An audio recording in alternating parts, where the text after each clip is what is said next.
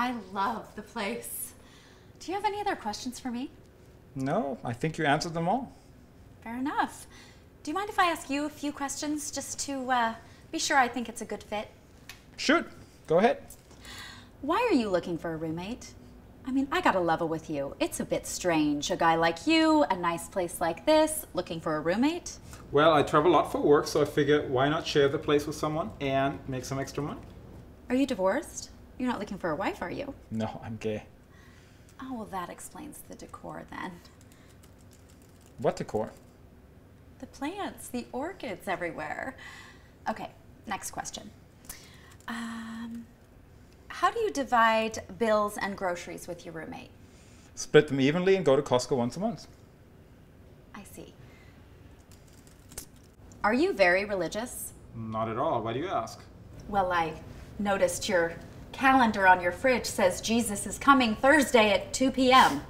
That's Jesus the gardener, and we split that bill also. Fun. Do you watch a lot of internet porn? Excuse me? I just don't want to move in with an internet porn junkie. Been there, done that. That won't be a problem. Fine. Do you sleep in the nude? I'm really not sure how comfortable I feel with all these personal questions. Why? Do you have something to hide? Not at all. Okay, then. Can we just get through this? There's just a few more. Fine. This is a big one. Uh, when you go to the bathroom, do you lift the toilet seat up and then put it back down again? It's kind of a pet peeve of mine. No pun intended. I suppose I can do that. Okay. How much toilet paper do you use after using the bathroom? Why is this important? The usual amount, like like an arm's length? Oh. And I noticed you had wet ones in the bathroom. What do you use those for? To wipe stuff. What kind of stuff? The toilet seat. Okay. Um, how much noise do you make when you're having sex? Depends on the guy. How about you?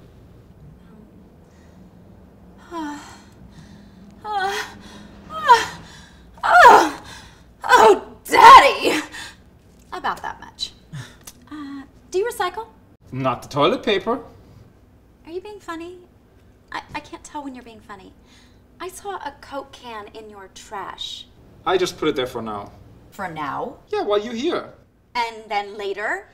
You know, I'm really not comfortable with your questions. Recycling questions?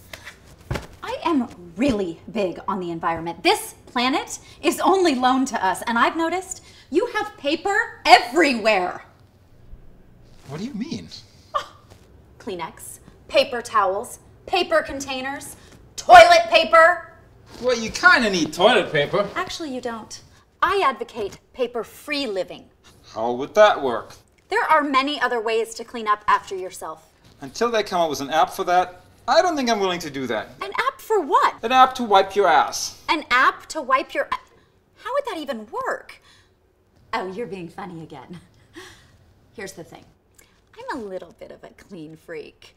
So, um, I don't really like to clean, so it's important to me that my roommate is very clean and hygienic. Can you do that? I think I can. Jakey! Jake, are you done with your doggy food?